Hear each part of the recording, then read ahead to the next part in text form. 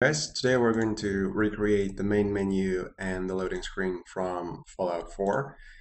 And to do that, um, I'll go through the code that already exists because um, I did that before the tutorial. So I'll just walk through the code and then give you the link to um, clone it on GitHub basically, or just copy it.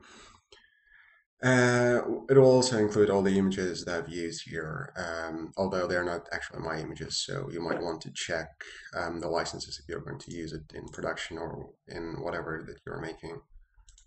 Um, so yeah, before we do anything else, I'll just run the demo and then you'll see for yourself. So what we have here on the left is an image or a screenshot from the game. Um, I think it's probably the Xbox version. And on the right, we have um, our JavaFX application that runs a similar skin um, that's similar to Fallout 4 menu. As per usual, we're not trying to copy the sort of exact details. What we're trying to do is to create something slightly new but inspired by the original version. And so that we can see the resemblance, um, yet we can notice the differences as well. So we have the similar sort of color palette. Uh, we have our um, menu items. So if I click settings, we have exactly the same um, things. They don't actually do anything. They're just placeholders, but you could easily add functionality um, to do basically what you want to do. And um, also here's the loading screen. And what I did was basically took this image, removed that symbol, and re um, rewrote the symbol in Java.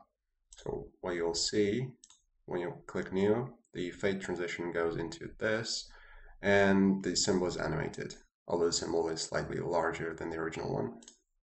So you might want to scale it down, um, scale it down, or just create a new one. And apart from that, uh, it comes back um, to the main screen where we can hit exit and exit the application. And that is pretty much it. Most of the code is just a, a single sort of method because I didn't feel like splitting it up because I didn't know what kind of applications you'll be using it for. So, uh, but they are very big. I mean, it's something like 60 lines of code per method probably. Uh, but you can easily see what um, this does. Um, ideally, you could have rewritten it in CSS, uh, possibly, but having it all in one place is probably easier. So what we have here is, right, so this is the main um, main entry point of the application. Um, set title, set scene, so these are the standard things that we do. We have our pane as the root node. Um, we have our image view, which loads essentially that background image uh, with nothing else in it. So it's just the image.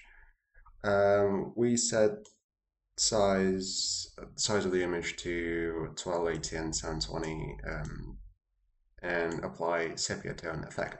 So it kind of uh, makes it um, less of a standout background. So as you can see, it's um, quite colorful in this screenshot. And here we're um, sort of toning things down so that the menu can stand out. Right, um, then we have our uh, masker, uh, which is the sort of, it masks the whole uh, image with a black rectangular background, but it has a opacity of zero, so it's not actually visible. It will be visible when we click new, um, and we'll come back to that. We have two menu boxes, um, the left and the right one.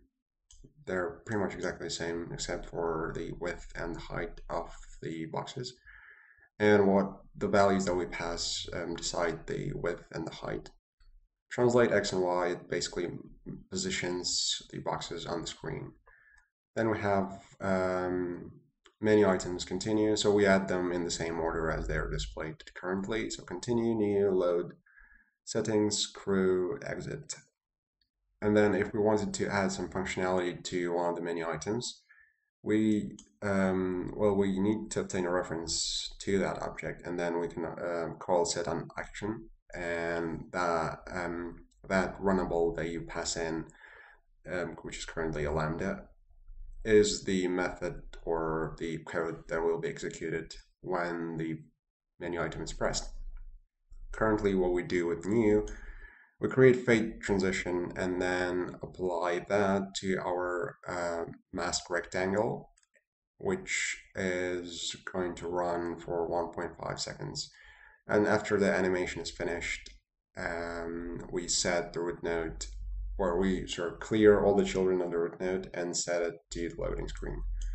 And when the loading screen finishes, it sets all the um, things back to uh, where they were and essentially displays exactly the same screen. And the rest should be pretty straightforward. We add the item once we've um, created them. Slightly different functionality for um, item settings action. When we click on settings, we sort of call this, so we add more items to menu box 2 although ideally you should probably set items because you could have other um, other menu items that could change the um, content of this box. For example, load could bring up a list of files that you have, a list of, list of save files that you've had before. So that should ideally be set items rather than add items. Um, and then final item exit on action, we simply exit the application and that is it.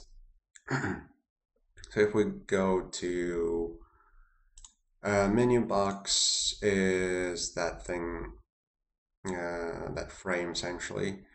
So we have our rectangular background um, and then we set fill with menu background color.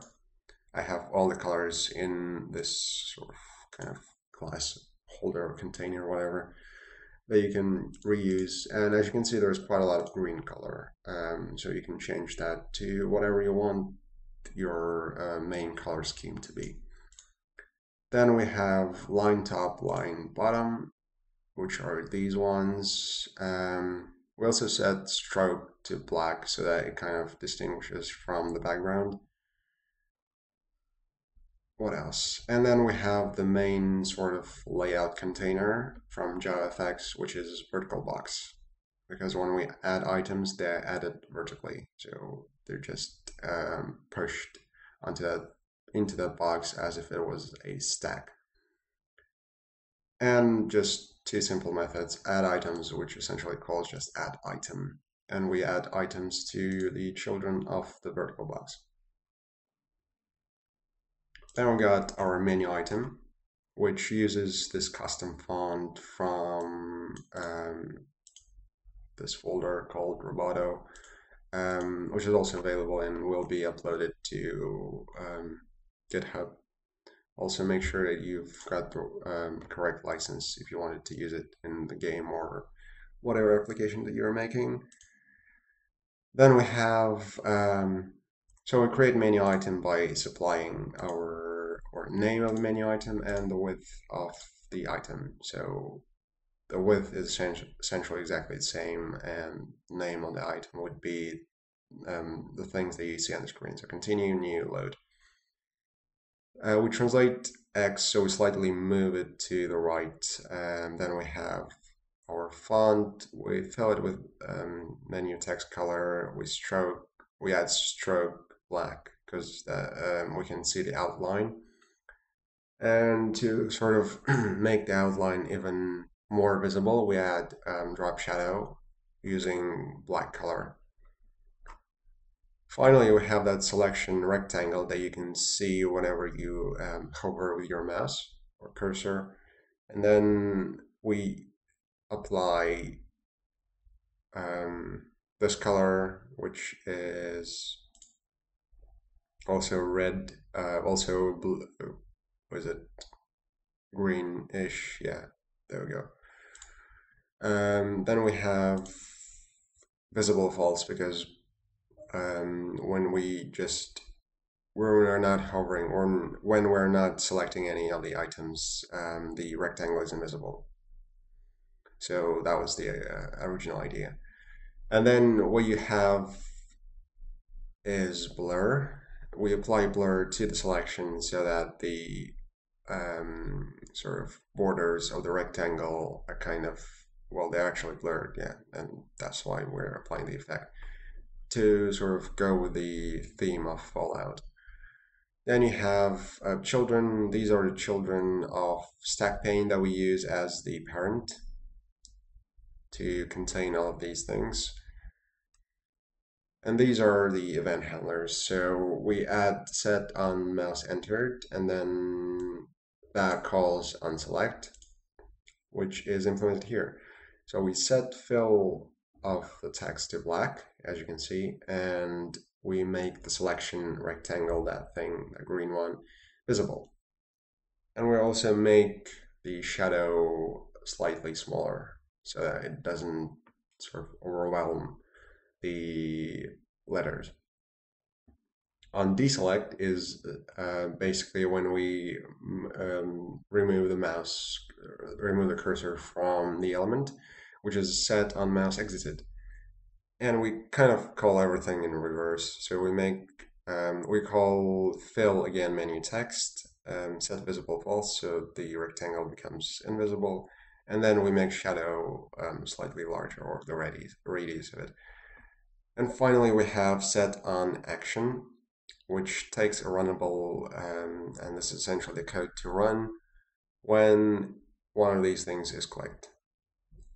And what we do is we call fill transition to change the color from, um, I'll do it on exit, from yellow to green and then actually run the thing.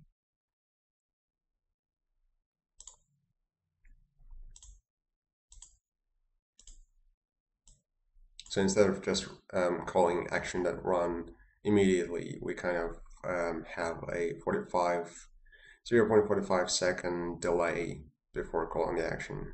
You can obviously change that to whatever you want um, this thing to be. Finally, we have our loading screen, which a which is that one. So if I just run this again, yeah, uh, the main part is the loading um, symbol that does the animation bit. And that is, well, first of all, create loading screen by passing width, height, and the action when the loading um, is finished.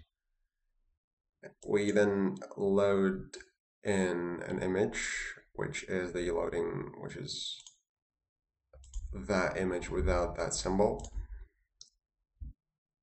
And then we make the symbol, we place the symbol where it should be, and we finally call timeline set on finished. Um, the action that needs to be run.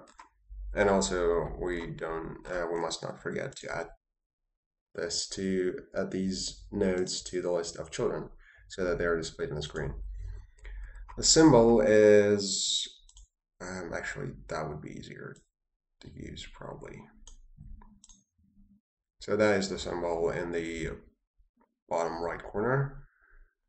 And first of all, we apply the blur effect to the whole thing, um, to the whole symbol uh, or the parent of that symbol. And we then have our top, mid, and bottom rectangles. Although we do make um, a few changes to the rectangles by setting arc width and height to these values so that they're um, so it feels like they were um, ellipses. And we use colors um, loading symbol, which is exactly the same color as the text. So it's um, bright green. And these are width and height of each of the rectangles, each of these um, things.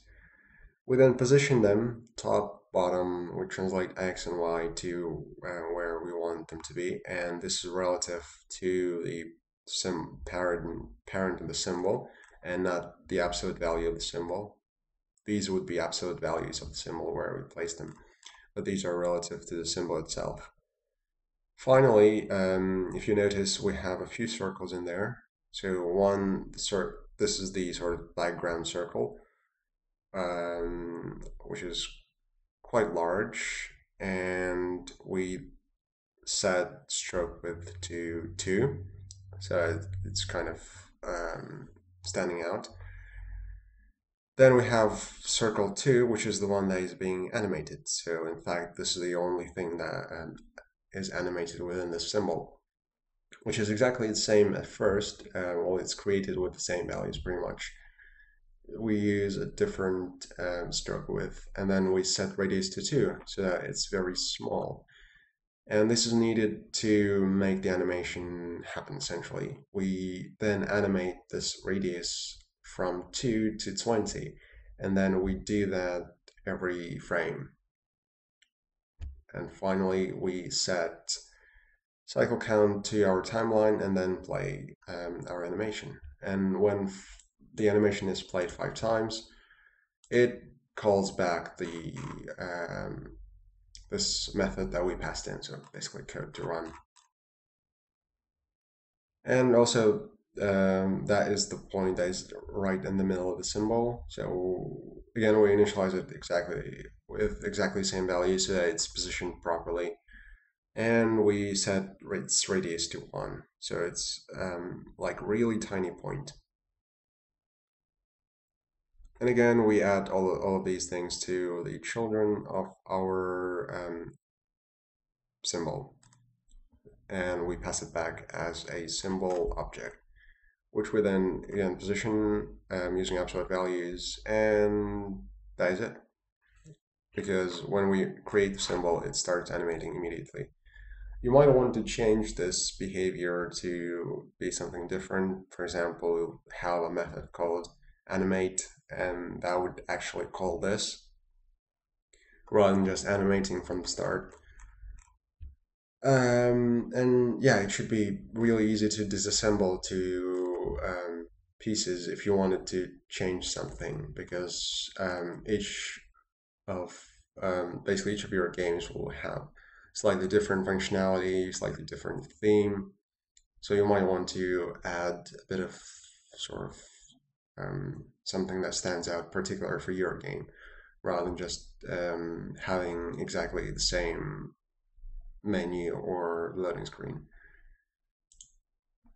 And you could easily um, hook this up into your own game by basically changing a little bit of this um, and a little bit of um, various other menu items and their functionalities. For example, new game would um, deal the transition um, if you do need a loading screen, because most games, most 2D games should easily load up um, without any long loading screens if we're talking about simple JavaFX games. So you might want to remove that into something add like um, start new game and which would replace children of the root node with your own objects and then you start drawing on them so the game basically starts from there and on and continues. And you might also want to implement something like a key event handler, um, so add it to the scene and then say when you press escape, um, you show this menu. You might also copy all of this into a, a standalone class called menu and have it as an object, which would be easy to sort of add to the root node and remove from the root node.